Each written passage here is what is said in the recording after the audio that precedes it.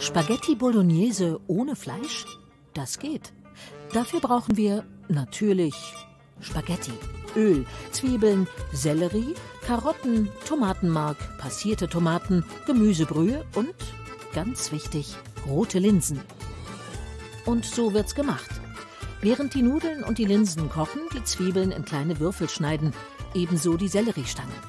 Die Karotten schälen und würfeln. Dann etwas Öl in einen Topf geben, zuerst das geschnittene Gemüse darin anschwitzen und dann das Tomatenmark hinzugeben.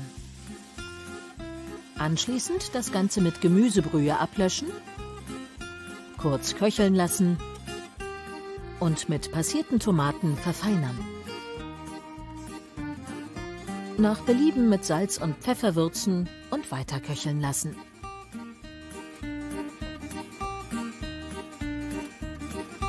Dann die vorgekochten Linsen hinzugeben. Sie ersetzen das Hackfleisch, liefern ebenfalls Eiweiß, haben aber weniger Fett. Und sie sorgen für das typische Bolognese-Gefühl im Mund. Das Ganze für weitere fünf Minuten köcheln lassen.